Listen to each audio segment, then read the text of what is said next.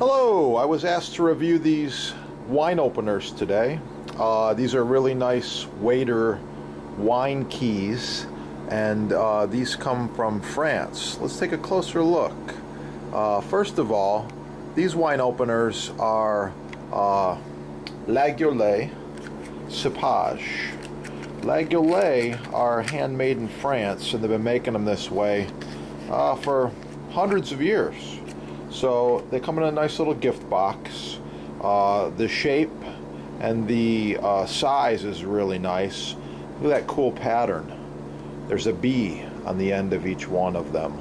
Uh, the B signifies that it's an authentic Laguiole made in France.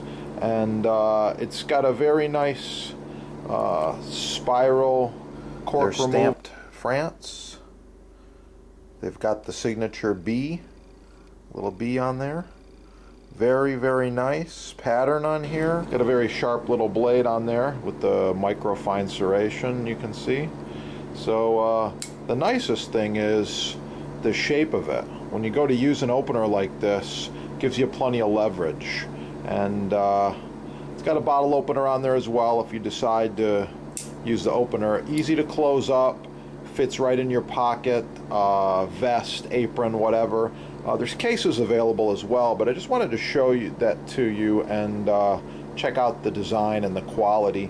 These come in many, many different uh, colors and styles and handles. Staghorn, elkhorn, deerhorn, uh, black, white, uh, mother of pearl look like this one.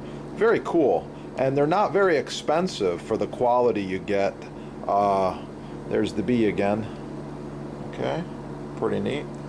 So uh, they're in stock at your sponsor. That is chefdepot.com. Thanks for watching. Have a wonderful day.